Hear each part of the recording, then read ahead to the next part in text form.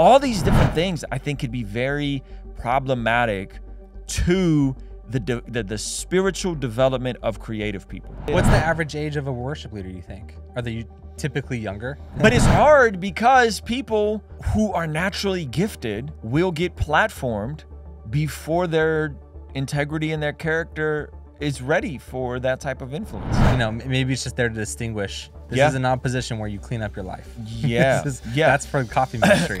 Bruce Lawn. Let's talk about partiality. That was an important point and distinction of Dr. Uh, Tony Evans's, I would say, correction for Kirk was that, you know, kind of heat. kind of heat where a lot of brothers, you get in church and you think you're booming and you think you're popping and then you want to be treated a certain way. Yikes. Yeah, he wanted the uh, VIP. He wanted the. VIP seating. we, you know, we don't got VIP seating at, at, at my church, but I, I'm I'm doing something intentional uh, to to to quail my own heart, like as like this YouTube stuff matters. Like, hey man, I'm I signed up to go serve in the children's ministry. Yeah. you know what I mean. Like, I think yeah. we need more dads. You with- only did with- that because it's in the back. You can use. You can enter through the back I could- door. I could enter to the You side, can use the celebrity door. door. but no, I'm really excited, and my my my, my one year old goes to the children's ministry. Um, so or she has, yeah. Anyway, hope. so I'm excited to uh, to be doing that. But I think it's interesting how many folks struggle who are of influence struggle with this, and how how seldom do people really understand like the partiality and the partiality extended to people who are gifted, to people that are on a worship team, to people that are charismatic, to people who have any degree of status, to business owners in the church, to elders in the church, the Yeah. parking spot, the separate parking spot for the pastor in the very front.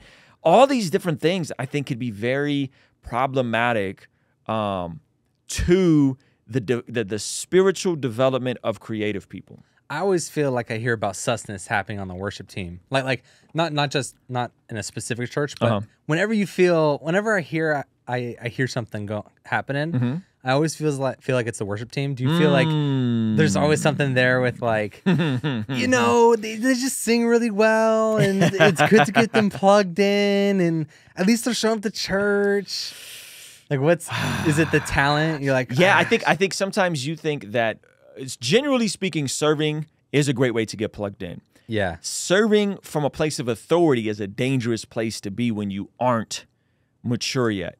Yeah. And so people on the worship team tend to be in the spotlight, and it could be difficult for your brain to decipher like Whether they're serving or whether they're whether, pastoring. whether they're serving, whether they're pastoring, whether Yeah. their status is um, to simply worship as unto the Lord or to be an influence in Yeah. this space. And and and, the, and it's a dangerous part. I mean, the scriptures are clear. Like someone that is a a a um um someone that's someone that is a new convert shouldn't be an elder, right? So that Yeah. line between like when people are in positions of authority and leadership, they shouldn't be new converts, and they shouldn't definitely shouldn't have their life in a mess. So it's, Yeah. it's, it's an interesting part. So like, yeah, like I think if someone's out in front, mm-hmm. you know, and and is the face of something, probably should you probably should make sure they're solid and they're and they're Yeah. walking with Jesus well. I know a lot of people or a lot of churches call it a youth or not a youth, a worship pastor. hmm I wonder if they do that to distinguish, like, hey, Yeah, because it'd be in line. because you, you worship pastor or or is it like a worship pastor or a youth pastor? So typically the the worship pastor and the youth pastors aren't elders in the church. well, I'm saying like right? worship pastor versus like saying worship leader, Mm-hmm, mm-hmm, and it's like a little bit more ambiguous. mm-hmm. Whereas worship pastor, like, it holds more responsibility in the title, Yeah. and so it requires, you know, maybe it's just there to distinguish. Yeah. This yeah. is an opposition where you clean up your life. Yeah. Is- yeah. That's for the coffee ministry. But man, it's yes, yeah, right. That's what a coffee ministry. Guys, I want to make sure that you guys know about our upcoming podcast launch, October 20th. The tickets for that are pinned up at seven dollars, and I would like to give you guys an exclusive preview. No one's seen these little previews of these conversations of some of the guests we've had, but I want to give you guys an exclusive preview so that you guys can get an idea of what to expect. I've always thought it was nasty to not put in two weeks. Mm-hmm. I quit that day. I didn't even like wasn't even in the mood to like sleep with these girls, but I felt like I had to. How come none of these personalities are ever doing anything benevolent? so I think that there could be a spiritual, maybe potential demonic component that's in there that we haven't explored. the fact that I was single until I was 40. And I knew I was never going to plan a church being a single guy. I wasn't going. I wasn't about to set myself up. You know, and then I remember one time my uh, financial advisor at the time, she was like, "Hey, did you know you're spending more than you're making like every month?" And I was like, "Oh, for real?" and I'm supposed to, you know, perform. This uh, production assistant's like, hey, here's a Viagra. Take it if you want to take it. Don't if you don't. It's in your hand. It's yours. I teamed up with Moment for the exclusive live premiere of the anticipated Bless God podcast. And the tickets for that are only $7. When you get to the main page, click the yellow Get Ticket button, scroll down to the add ons, and throw in your ticket to the after party as well as some exclusive merchandise. And I will see you there. But it's hard because people who are naturally gifted mm-hmm. will get platformed before their integrity and their character is ready for that type of influence. Yeah, especially if you don't have a large, if the church doesn't have a large pool Mm-hmm. to choose from of good singers. And they're like, well, Yeah. Carl's kind of Yeah. out and about, but Yeah. And it- Carl's got a good voice. Right, Carl's got a good voice, and um, Carl leading worship will be great for the Sunday morning experience, but probably not good for Carl's soul. Yeah. Yeah. Right? Yeah. We'll get great clips. We'll get we'll get some good stuff for Instagram, but probably not ideal for his spiritual development in this local ecclesia. yeah. I also think it's interesting within Christian music in general. And this isn't this this happens in any entertainment industry, but within Christian music in general, there's something about being in front of people that is very self-deceptive. And this is what I mean. I think when someone's standing and speaking, rapping, talking, preaching, singing, playing guitar, Yeah. in front of 3,000 people, 3,500 people. I don't know, especially an immature brain, if they can distinguish that these people aren't here for me. Whoa. what a trip. Yeah. Yeah. yeah. I think your brain goes, these people are here for me. yeah. yeah. Like I, I'm lit, guys. Like it's 3,000 people here. Christian rappers. Christian that, uh, rappers. have, have entered the chat. Right. That go to all the conferences. Y- yo, but, but yo, so what happens is within Christian music specifically, there's this thing called soft ticket sales, right? Soft ticket sales are what we would call the equivalent of like the festival circuit Yep. in the mainstream world, right? So like if a, if a, if a rapper gets big, they'll be on Rolling Loud and it'll kind of be the thing to catapult them and expose them to a bigger audience, collaboration. But you are those folks aren't there to see you. yeah. Yeah. right? Yeah. Vers- Beyonce's on the card. yeah, yeah, whoever's on the card, Yeah. they're there to see the the festival, not to see you. In Christian music, I think this is way amplified, and there's a lot of bags to get with. Hey, I'm gonna pop in and do worship on a Sunday morning. I'm gonna do a rap here. I'm gonna go to this conference. I'm gonna go to that conference. I'm gonna go to this festival. I'm gonna go to that. And so I think what happens is your mind gets deceived, and you start thinking that these people are here for you, and they're not. They're there for the service. Yeah.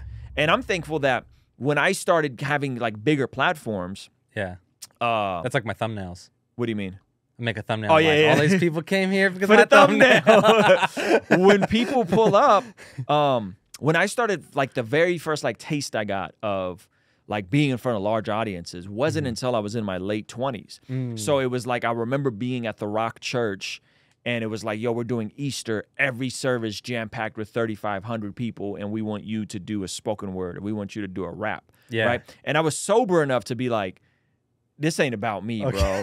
like this is not about me, right? And then like in the same window of time, like Lecrae had me do like the Reach Life Institute with like not me, the breaks, Yeah. with uh Francis Chan, him, right? And Booming. there's booming, three thousand people, two thousand people, right? And then we do Man Up Conference like a month later, two, three thousand. I think they had almost four thousand people at Man Up Conference, and so you just look out and all you see is just, just a sea of people, bro. It's nuts. It's just a sea So that never got to you? It, it got to me not not in the way it would have when I was 25. Yeah. By the time I'm 27, 28, I'm like, yo, the grind of this, and then you know, You've already done Midland, Texas when it was only your name. And you were Yes. like, ah. Yeah. Okay, there's Yeah. 45 people here. Forget that. I've done shows for three witches in the, Salem, Oregon. You know what I'm saying? Like I've That's done crazy. it's three witches and a warlock in Salem, Oregon, right? At least I had an ROI. You it went into the story bank. You were able to use it later. no, no. What what had the ROI was seeing that uh, these pe- people didn't one they didn't give a crap, two they didn't buy merch, and three like our numbers didn't like jump up astronomically. So you're saying you know you're mean? saying even when you did these big shows, you're sitting at your table afterwards, It being was like, "Hey, inconsequential. It was inconsequential. have you heard of the breaks?" Yeah, like we had a uh, we had a window where we had you know I don't know uh, sold a couple hundred CDs at the Rock, and that was like oh that was cool. That was a cool deal. You know that was dope. Yeah, yeah. But it wasn't like life changing. It was just like yeah, mm-hmm. like I'm a I'm a part of a worship experience, and this isn't about me. But this is Yeah. at this is 2010 to 2013. I'm getting these looks. So I'm you know I'm in my late 20s at this point. You know what I mean? This Yeah. is way down the Yeah, road. This isn't like So it's more you're more adapted. yeah, I'm I'm I'm, I'm anchored. I'm adapted. What's I'm- the average age of a worship leader? You think are they typically younger? Is that is that well? I mean, in Kirk's situation, he was a breakout star. yeah? So I would say mid twenties, early twenties. But he said Yeah. he's been leading worship since he was 11. Oof. What you're saying, Yeah. Right? Yeah. yeah. So imagine your entire life, you're coming up as the guy on the stage. do you think that gives someone like Kirk the confidence to actually pursue a career? Yeah, totally. And that's a beautiful part about the utility in the church because the utility of that of that is if you actually properly disciple people in the process, you don't just have them jump out and do the lead song. You don't just have them jump out and do their song. You don't just have them you just you in the back doing background harmonies Yeah, for yeah, yeah. years. No, but that's what I mean. You know what I that, mean? like, do you think that the him leading worship at 11 years old was? I think it jacked him up. It, yeah, that, I think it well, jacked I him jacked him up in a in a way that like in a in a chaotic way, Mm-hmm. in a way that says I can actually go pursue these crazy things. Whereas if you meet other worship leaders that really put in their dues Mm-hmm. behind the scenes, and then they're mid twenties, mid thirties, whatever, Mm-hmm. they might be super talented, but I don't know if you've met a lot of them. And they're like, no, I, I couldn't, I couldn't, I Yeah. couldn't. Yeah, so so You there's know what I'm there's, there's there's there's two extremes. So it almost benefited him, Well, but here- in a bad way. But the other side of that extreme is that the older guys have probably ran the gamut of trying to be a musician and failed, Oh. and then they kind of need it. And the church seldom is there to platform the guys with the character because now we just kind of need you around. You can't go out and do your own thing on the side. We Yeah, need yeah, you yeah. here. Okay. You're our- you're ours, You're right? Versus versus we're going to disciple you. We're going Mm-hmm. to keep you accountable. We're going to tell you the truth about yourself. yeah.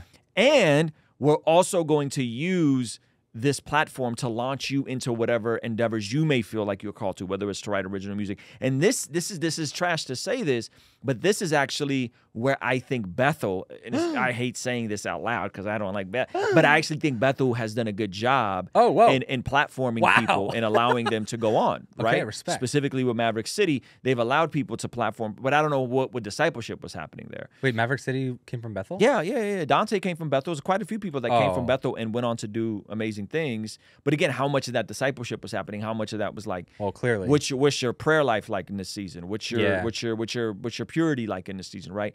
I don't but know. they had a platform and they were able to and they were comfortable with promoting the names not just like it's our worship Yeah. team um anyways Yeah, yeah, yeah, yeah. Like Yeah. like under the umbrella of Bethel Music, under the umbrella of these things, they were able to to to to get other people out there, and you know, I guess for good or bad. I mean, maybe you would say that that wasn't bad, right? Yeah. Uh, I mean, maybe that was bad for the sake of that, but um, I think it's an interesting. I think it's an interesting dichotomy for creative people in the church because you can get platformed very, very easily before your character is ready. yeah yeah And I think that's what happened with Kirk, and that's pro- why he was, you know. So all the recent stuff, you know what I'm saying? I'm just like, guys, like, there's people in Kirk's life, like, there's real people in, in Yeah, yeah, Kirk's yeah, real yeah. life that probably called him and was like, yo, like. You you was wilding for that bar, like Yeah, yeah, you yeah, know, yeah. and You I think should've that's known. yeah, you should have known, and I think that's why he, uh, you know, I, I guess I don't know if he technically apologized, but he definitely, um, but he definitely tried his best to clean it up, Yeah. you know, And it said that Simeon blessed God.